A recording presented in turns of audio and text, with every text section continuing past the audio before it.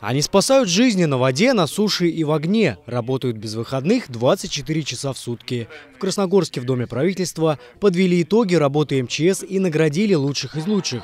В числе тех, кого отметили по достоинству, государственный инспектор по маломерным судам Евгений Алехин, который бок о бок трудится вместе с сотрудниками Химспаса. Я работаю в системе МЧС около 10 лет.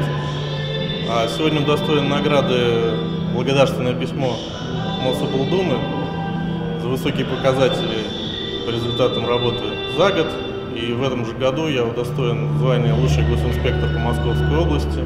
Вместе с водно-спасательным отрядом Химспаса сотрудники госинспекции маломерных судов контролируют безопасность в акватории канала имени Москвы. Зимой им не раз приходится спасать рыбаков на льду, а летом контролировать безопасность на воде и в прибрежной территории.